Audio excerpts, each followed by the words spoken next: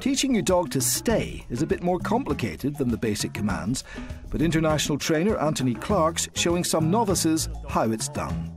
If we ask the dog to wait, that basically means that whatever position you've said wait in, they have to stay in that position.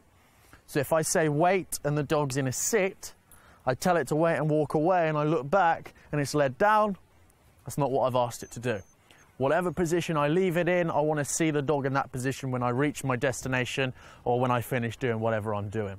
We can use a toy or food for reinforcement for this. The wait is one of the most basic but very important commands. Uh, we can use it in loads of different situations from day to day. One of the most important things is for your dog to understand that when it's in a position, whether it be sit, lie down, or stand, and you ask it to wait, it stays in that position until you ask it to come forward or release it out of that position. So, what we're going to do to start with, we're going to have you all doing it from a sit. Okay? What I want you to do is tell the dog to sit, and you're basically just going to take one, the dog's on your left, you're going to step forward with your left foot, okay, whilst feeding the dog. Okay? So you're going to step forward on your left foot and feed the dog at the same time for staying in the position. So let's just break off and we'll give that a go. Okay, so just step forward. Just step forward with the left leg. Okay, let me just show you a second. All right, so if I take a treat, basically you're going to position him on your left-hand side. Okay, Bruno, what's this? What's this? Okay, sit. Good boy, well done. Okay, so what you're going to do is you're going to step that leg forward. Okay, sit. Okay, you're going to step that leg forward as you feed him. So it's just a slight rock. He's not actually moving anywhere. So at the minute, what we're doing, we're kind of trying to distract him from the movement by the feed. Okay, so just do it first of all.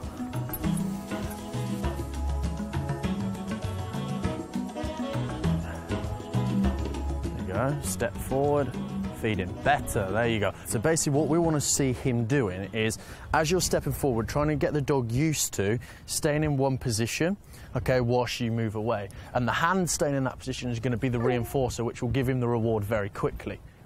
Okay? Yeah. Let's give it another go. Good, straight back. There you go. Well done. Good. All right, well done. Okay, what I want you to do this time is tell him to sit okay? And you're just gonna go wait, and you're gonna step away one, sideways, straight back feed, okay? Small step back, straight forward and give him the food. Good, well done. Jack Russell Shih Tzu Cross Lucy is four months old. Now it's her turn to impress. You just go wait, wait, and just rock back, forward, feeder. Okay? Give that a go. Be quite exciting, get her into you. Go back, feeder. There you go. Don't leave it there too long. There you go, that was better. Step away again. Go back, feeder, quickly. There you go, well done. Better. Good. Oh, be careful. Be careful. Don't go back in towards her. When you're going to reward her, don't go in like this because you see it brings her forward. So when she's in the position, okay, she's waited there, you come back in and you're going to feed straight away. So the hand literally sort of feeds her straight away.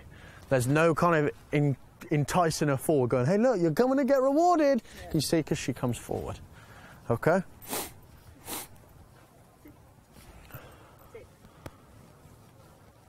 When rewarding your dog, it doesn't always have to be rewarded with food.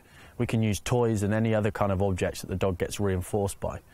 So if your dog's really high drive on a toy, instead of going back and feeding it with food all the time, when you've asked the dog to wait and it's executed it correctly, you can throw the toy back to the dog so it's getting rewarded and paid by doing the behaviour with its toy. Go. Yay! Yeah, mate. Good work, excellent.